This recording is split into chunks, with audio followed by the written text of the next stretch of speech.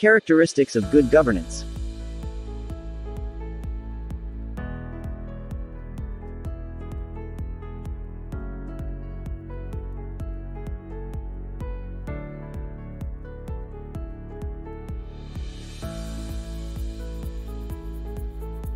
Participation.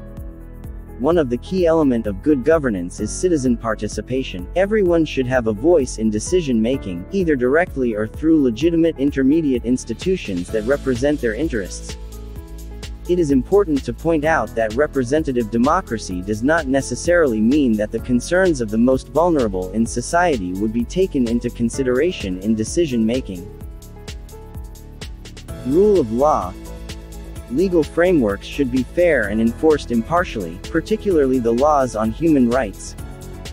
It is a hallmark of political maturity but also a requisite for growth and poverty reduction, for there are irreducible minimum levels of governance needed for large-scale investment to occur and for social programs to be supported.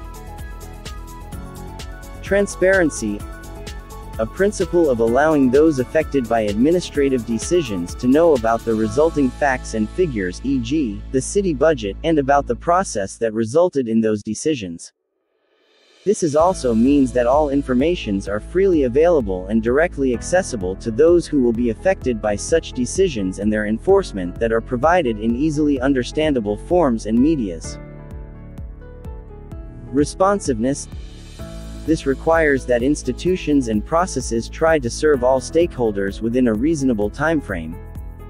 It has a basic necessity of the administration which can motivate the interrelationships between administration and people.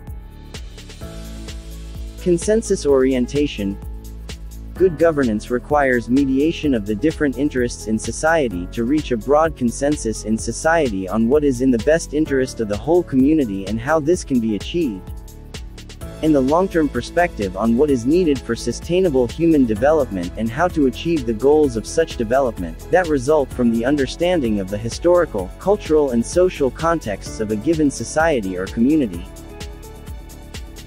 Equity and inclusiveness Good governance should address the issues concerning justice and equity.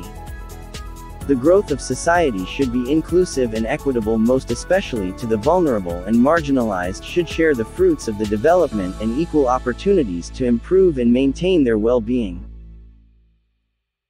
Effectiveness and efficiency The developmental needs of the society must be achieved by the optimum utilization of the resources at their disposal.